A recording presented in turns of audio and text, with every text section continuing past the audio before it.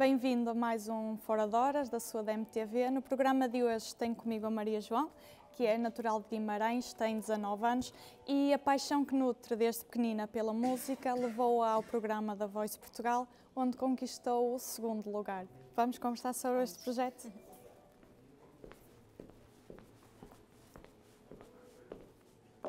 Maria João, quem és tu? Para as pessoas te conhecerem, quem é Maria João? Então, sou a Maria João, uh, tenho 19 anos, sou de Guimarães. Uh, e a Maria João é uma menina que sempre gostou muito de cantar, uh, de dançar também, ou seja, sempre ligou muito a esta parte da arte e que neste momento quer muito fazer disso a sua vida. Exatamente. E como é que surgiu esse, esse bichinho da música, do cantar e de tocar também, não é? Começou logo desde pequena, não sei se já tinhas alguém na família ligado um bocadinho à música. A minha relação com a música é, eu não me lembro de não cantar, ou seja, desde pequenina que vou ao coro com a minha mãe, vou aos escuteiros com o meu pai uh, e no coro, pronto, canta-se, não é? Normalmente. e depois com o meu pai sempre havia alguém que pegava na guitarra nos escuteiros e começava uhum. a cantar. Portanto, foi surgindo de uma forma muito natural e muito íntima também.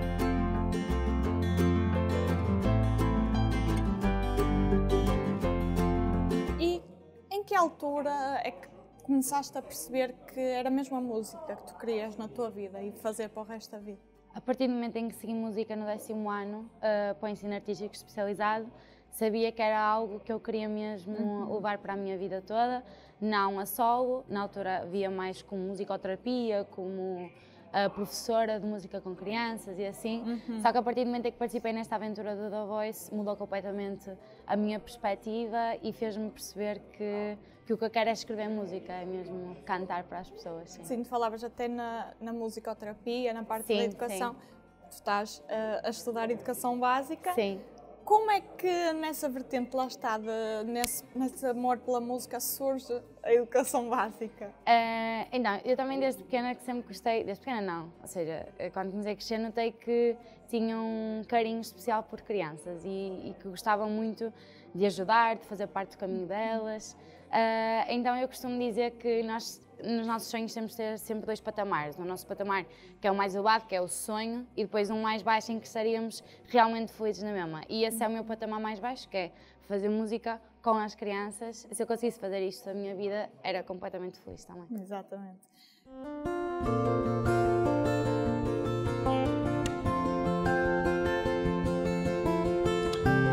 Que depois surgiu, uh, não sei, a ideia ou a vontade de, de, participar no The Voice Portugal? Já era alguém que pensavas ou como é que isso surgiu? Ah, eu há dois anos já tinha pensado e participei e tentei concorrer ao, ao programa, só que não passei no primeiro casting. Uh, este ano senti-me mais confiante, mais motivada também. Acho que já sentia que tinha uma marca a deixar na própria música, que já tinha uma identidade. Uh, então pronto, decidi naquela brincadeira de vamos ver como é que como, este, como é que isto corre. Uh, Inscrevi-me, passei nos castings e foi um orgulho, não estava nada à espera. Pois, como é que foi saber que estavas no, no programa? Não, foi incrível. Eu, nós temos dois castings sempre antes da prova cega e mesmo passar do primeiro para o segundo, que foi aquilo que não aconteceu há dois anos, já foi um. já tinha sido uma meta alcançada, já foi incrível. Sim. Sim. Conta-nos também um bocadinho como é que foi a participação no programa em si, a parte da, da, da das provas cegas, depois uhum. as galas em direto. Como é que foi todo o percurso e o que é que te acrescentou também, como alguém que já estudava, já estudava música? Então, todo o percurso foi completamente surreal. Os meses que estive lá parecia que estava a viver completamente num mundo paralelo, num mundo completamente de fantasia, numa bolha, não é? E foi aquilo que o programa me deu. Foi uma bolha uh, que me fez crescer e aumentar também a minha confiança e autoestima. Que eu acho que era alguma coisa que eu precisava e que comecei a ganhar com o programa. Porquê? Porque percebi que efetivamente conseguia fazer aquilo que, que mais gostava. E acho que precisava desse sentimento de, de. Ai, como é que se diz? De confiança e, e assim. Sim. O que é que te marcou mais lá? Há assim algum momento que tu assim de repente te lembres e que penses que realmente te marcou? Eu acho que foi uh, aquela sensação de chegar sexta à noite ou sábado de manhã e dizer vamos para mais uma, sabe? E depois também estar com o pessoal lá, com todos os amigos que criei, foi do mais especial que, que tive.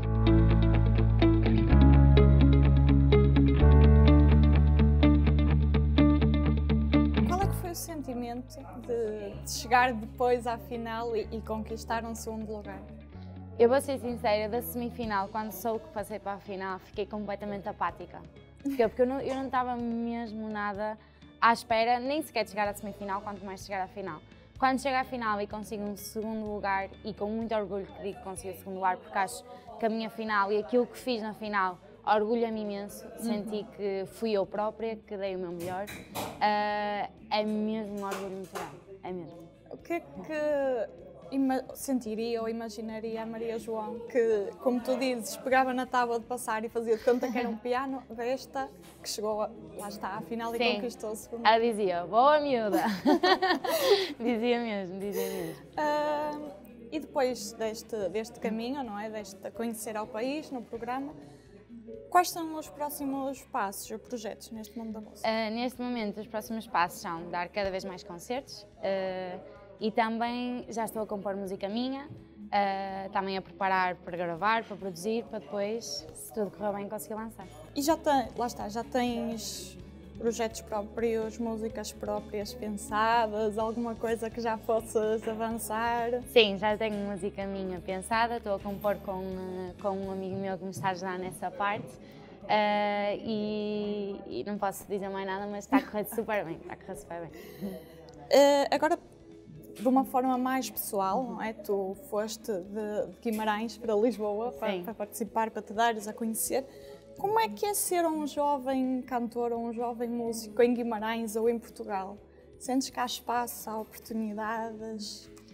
Infelizmente, eu acho que podia haver mais. Uh, acho que nessa parte da cultura ainda somos um país muito pequenino e acho que de mentalidade ainda mais pequenino ainda uh, porque só vemos o grande, o grande e, e, o pequeno fica sempre um bocado de lado. E acho que isso era uma parte em que Portugal e as pessoas também podiam contribuir para isso, ouvir mais música de artistas mais pequenos, dar-lhes a conhecer mais, porque acho que é o ponto que falta uhum. na nossa cultura também.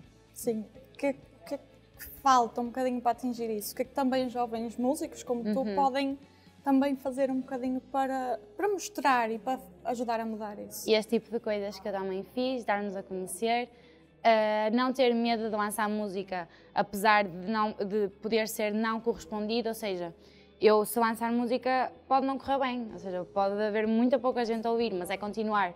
Ou seja, apesar destas, destes entraves que possam vir a surgir, eu acho que é lutar um bocadinho e tentar ultrapassar pouquinho a pouquinho que é que tu dirias também aos, a outros jovens que, que, que amem a música e que gostassem de fazer também da sua vida a música?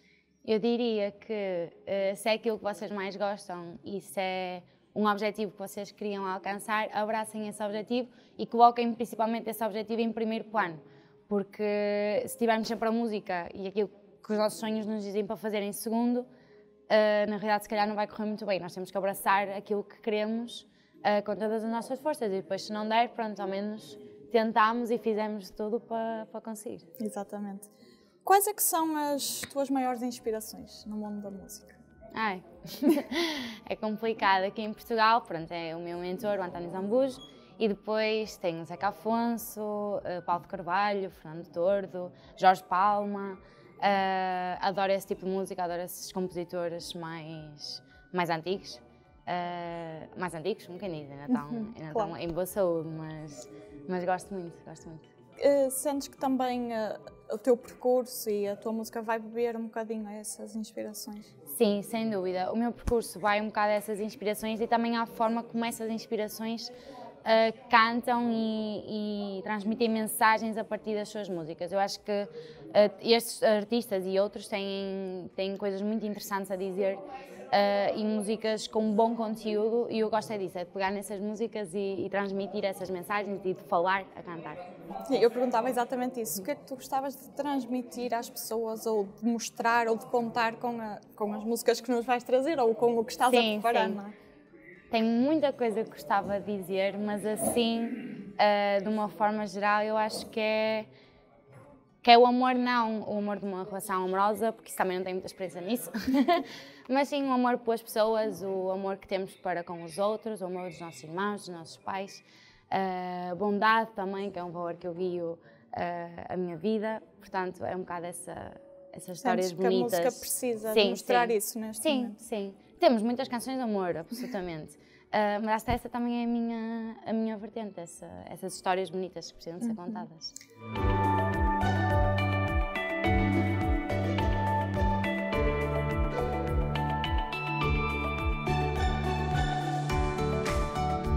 Nível pessoal? Quais são as tuas principais inspirações? A nível pessoal são os meus pais, os meus irmãos e os meus avós. E a minha prima. Muito bem. Queres explicar um bocadinho porquê? Sim, uh, os meus pais, porque lá está, sempre me acompanharam em todo o meu percurso, sempre fizeram de tudo para eu ter as melhores oportunidades e conseguir alcançar todos estes objetivos. Os meus irmãos, porque são dos meus maiores uh, suportes, uh, são mesmo aqueles braços que não, que não me deixam cair nunca. os meus avós são os meus maiores fãs, são incríveis. Também sempre estiveram lá desde pequenina, criaram-me Portanto, sempre viram este caminho da música a crescer e a nascer em mim, não é? Uh, e a minha prima, porque tenho um projeto musical com ela, chamado Sem Direção, uh, e também é dos meus maiores exemplos no mundo da música. É uma artista incrível, canta maravilhosamente bem uh, e, portanto, é um exemplo.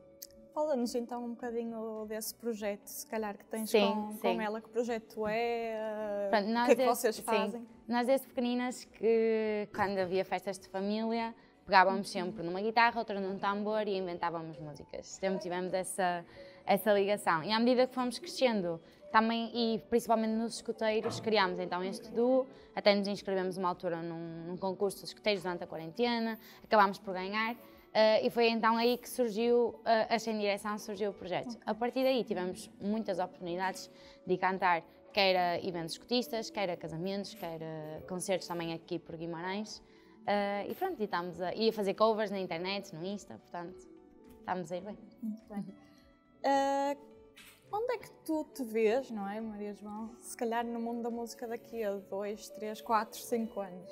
O que é que tu al uh, esperas alcançar? Como é que tu te imaginas?